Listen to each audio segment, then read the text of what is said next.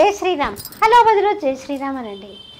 నిజానికి మనందరం కూడా ఇప్పుడు పిల్లలకి పెళ్ళిళ్ళు చేసేటప్పుడు అందున ఆడపిల్లకి పెళ్ళి చేసేటప్పుడు ఈ మధ్య కాలంలో కొంచెం తగ్గిపోయిందేమో కానీ ఇది వరకు ప్రతి ఒక్కరూ అమ్మాయి డిగ్రీ చదివినా ఇంటర్ చదివినా టెన్త్ క్లాస్ చదివినా ప్రతి ఒక్కరూ ఇంకా అనుకునేవారు యుఎస్ సంబంధాలే కోరుకునేవారు. అదేంటంటే విదేశాల్లో మా అల్లుడు మా అమ్మాయి ఉన్నారు అంటే అది ఒక గొప్పతనంగా భావించేవారు. నిజానికి ఒకసారి ఆలోచించండి. ఒక దగ్గర అందరం కలిసి ఉండి పచ్చడి మెతుకులు తిన్నా ఆనందంగా ఉండొచ్చు. కానీ ఎక్కడో వాళ్ళుండి వాళ్ళు మనకి డబ్బు పంపించినా పంచపక్ష పరమాన్నాలు తిన్నా ప్రతి నిమిషం వాళ్ళే గుర్తుకొస్తూ ఎంత బాధపడతాం చెప్పండి? ప్రతి ఒక్కరు కూడా ఏమనుకుంటున్నారు? విదేశాల్లో వాళ్ళ పిల్లలు ఉండడము అక్కడి నుంచి డబ్బు పంపించడం చాలా గొప్పగా భావిస్తున్నారు. వాళ్ళు అక్కడ ఏం చేస్తున్నారో తెలీదు. ఇక్కడ మన దేశంలోనే ఉద్యోగాలు ఈ మధ్యకాలంలో రావడం చాలా కష్టంగా ఉంటాయి. ఇంకా అక్కడ ఎంత కష్టంగా ఉంటుంది చెప్పండి? అలాంటిది ప్రతి వాళ్ళు ఎన్ఆర్ఐ సంబంధాలు ఎన్ఆర్ఐ సంబంధాలు. వేరే దేశంలో ఉన్నారు అని చెప్పుకోవడానికి చాలా గర్వంగా భావన చేస్తూ ఉంటారు. కానీ మన దేశం యొక్క గొప్పతనం మనం చెప్పుకోవాలండి. మన తెలివితేటల్ని మనం ఇంకొక దేశానికి ఎందుకండి తాకట్టు పెట్టడం? మన తెలివితేటలు మన కోసము మన దేశం కోసం ఉపయోగిస్తే చాలా గొప్పగా ఇంకా ఎదుగుతాం కదా. అక్కడ రెండు లక్షలు సంపాదించినా ఇక్కడ ఎనభై వేలు వచ్చినా అది ఒకటే కదండి.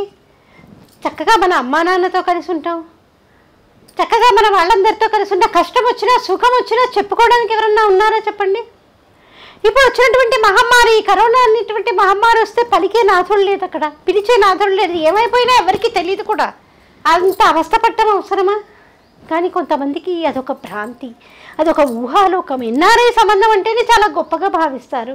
మరి ఎన్ఆర్ఐ సంబంధాలు ఎంచుకునేటప్పుడు ఎలాంటి జాగ్రత్తలు తీసుకోవాలండి అన్నటువంటి సందేహం వస్తుంది. ఎన్ఆర్ఐ సంబంధాలు అనగానే అవేవో ఎక్కడ అక్కడే వచ్చినటువంటివి కాదు కదండి. వాళ్ళ అమ్మ నాన్న ఇక్కడే ఉంటారు. మనం చూడాల్సింది ఏంటి? ఆ కుటుంబ నేపథ్యం ఏంటి? ఆ కుటుంబంలో వాళ్ళు ఎంతమంది ఉన్నారు? వాళ్ళు ఏమేం చేస్తుంటారు? ఒకవేళ బిజినెస్ అయితే ఎన్నేళ్ళ బట్టి చేస్తున్నారు? పిల్లవాడు అక్కడ ఎన్ని సంవత్సరాల బట్టి ఉంటున్నాడు అనేటువంటివన్నీ కూడా మనము విచారణ చేసుకోవాలి.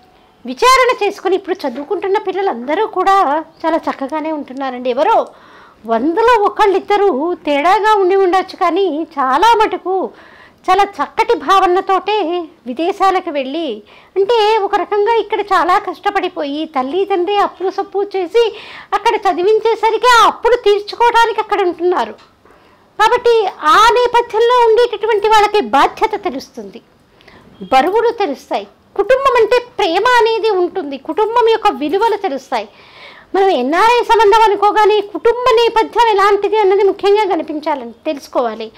కుటుంబం యొక్క విలువలు తెలిసినటువంటి కుటుంబం అయితే కనుక తప్పకుండా మన అమ్మాయిని ఆలోచించి ఇచ్చేయచ్చండి. ఎందుకంటే కుటుంబ విలువలు తెలిసినటువంటి కుటుంబం అయితే అబ్బాయి కూడా అదే పెంపకంలో పెరిగాడు కాబట్టి తప్పకుండా ఆ యొక్క విలువలు తెలుసుంటాయి ఆ వాల్యూస్ తెలుసుంటాయి కాబట్టి భార్యను కూడా చాలా చక్కగా చూసుకుంటాడు. మనమంటే ఈ మధ్యకాలంలో తల్లి తండ్రి కలిసి ఉండకూడదని కోరుకుంటున్నాం కానీ విడికాపురాలను కోరుకుంటున్నాం కానీ మనందరం గుర్తుకుంచుకోవలసింది ఏంటి అంటే తల్లిని అక్క చెల్లెళ్ళని ప్రేమించేటటువంటి అబ్బాయి ప్రేమగా చూసేటటువంటి అబ్బాయి భార్యని ఇంకా బాగా చూసుకుంటాడండి. అది ఒక్కటి మనం గుర్తుంచుకోవాలి. మనం పెళ్ళైనప్పటి నుంచి వాళ్ళని విడదీయాలని అమ్మా నాన్నని దగ్గర నుంచి అబ్బాయిని విడదీయాలి అన్న కోణంలో కాకుండా ఆ అబ్బాయి వాళ్ళ అమ్మనంత బాగా చూసుకుంటున్నాడు వాళ్ళ అక్క చెల్లెలనంత ప్రేమగా చూసుకుంటున్నాడు కాబట్టి తప్పకుండా మా అమ్మాయిని ఉద్ధరించగలడు అన్నటువంటి ఆలోచనతోటే మనం ముందుకు వెళ్ళాలి.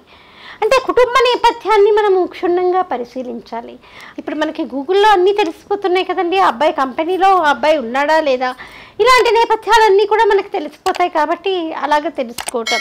పైగా మనము ఒక విషయం అండి అన్నం ఉడికిందో లేదో తెలుసుకోవటానికి ప్రతి మెతుకు తీసి ఇది ఉడికిందా లేదా అని చూడం కదండి.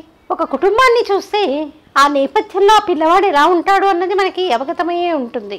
కాబట్టి ఈ కోణంలో ఆలోచిస్తూ మనము ఎన్ఆర్ఐ సంబంధాలు వెతుక్కునేటటువంటి నేపథ్యంలో కనుక ఒక అడుగు ముందుకేస్తే బాగుంటుందండి.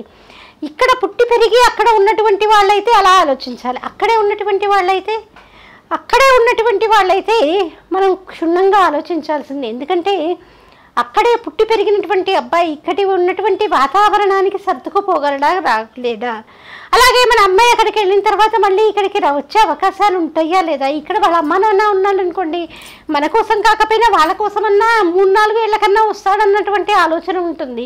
కానీ వాళ్ళు వాళ్ళ అమ్మ నాన్న అక్కడే ఉంటే కనీసంలో కనీసం ఐదారేళ్ళకైనా మన దగ్గరికి వస్తారా లేదా?